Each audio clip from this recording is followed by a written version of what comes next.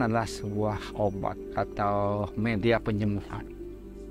Karya-karya yang saya ciptakan tidak hanya dia indah, tapi dia dihidupkan oleh sebuah jiwa yang bisa berkomunikasi dengan si audiens.